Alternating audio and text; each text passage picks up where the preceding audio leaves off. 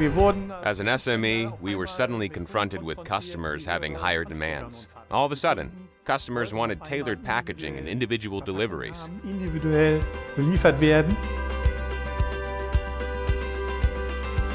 Eine Herausforderung. The challenge for us was that we have a lot of customers with a very high number of different products in their orders.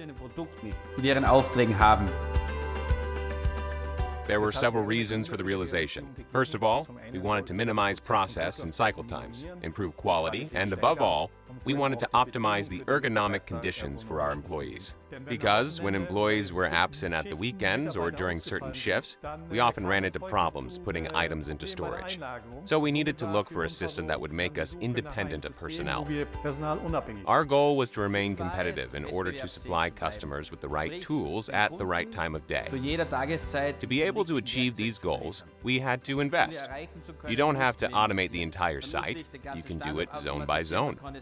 One of our first automation steps was deciding on an automated small parts warehouse. Einteile-Lager entschieden haben. The goal of automation was to improve the situation in a fundamental way.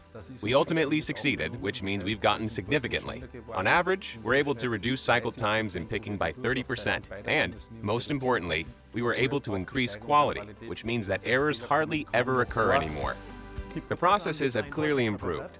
Now we can store pallets continuously around the clock. We don't have any bottlenecks. For process reliability, it's clearly a huge advantage. And for the employees, in addition to their work, it's also exciting to work with a new technology like this. Zu arbeiten. Andere So, I would really advise other companies to engage with customers. What are their key needs? And then definitely don't shy away from making larger investments in terms of automation. Because in the beginning, people are often skeptical and not necessarily keen on the change.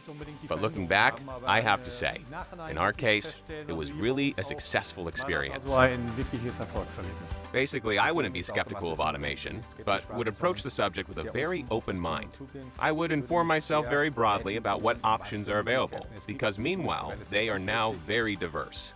The advantages of automation, as it is here at our site, outweigh the disadvantages. In the meantime, we've already been able to switch from two-shift operation to one-shift operation. Die Investition hat sich I have to say, we've really seen a return on our investment very quickly, which means that, in fact, it takes less than two years for this investment to be repaid. These optimization effects, meaning the savings in process times alone, have actually made these systems profitable in a very short time. We'll definitely continue along this path of successive automation. We've already planned the next expansion steps, as we have designed our concept to allow expansion in all directions. We absolutely intend to pursue this course further. And in the process, the LogiMat modules are meant to help us increase performance, improve quality, and simply make us fit for the future.